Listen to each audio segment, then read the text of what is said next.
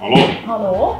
Ich würde gerne meine Lizenz erneuern, dass ich mit meinen Rentieren fliegen kann im Dezember.